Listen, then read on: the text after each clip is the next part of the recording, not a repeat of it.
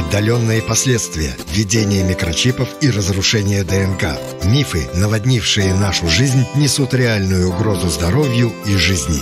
Что мешает остановить пандемию? Доктор ответит на все ваши вопросы. 21 октября в студии главный врач Центра медицинской профилактики Александр Муравец. Программа «Звоните доктору». 21 октября в 18.15 на телеканале «Самара ГИС».